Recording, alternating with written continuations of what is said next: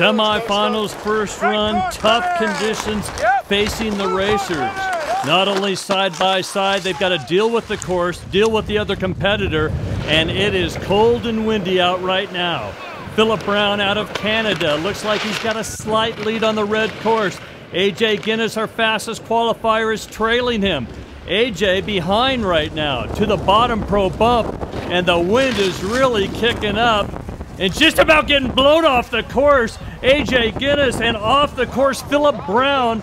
And what a gift trailing in that race, AJ Ginnis gets that nice early present and a little frustrated for the Canadian. Earlier, Pam Fletcher caught up with Michael Ankeny.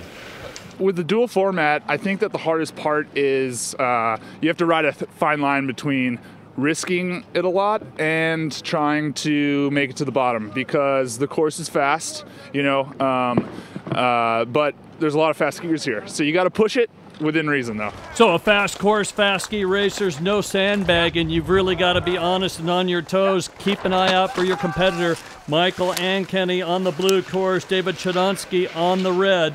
And again, David's been telling us that red course after that top pro bump is a little quicker. Let's see if he takes the lead. And he does. Just about a half gate to the bottom pro bump.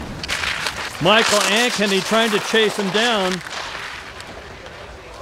And it is Chodounsky stretches first, and he gets the nod right there. Wins by 0.206.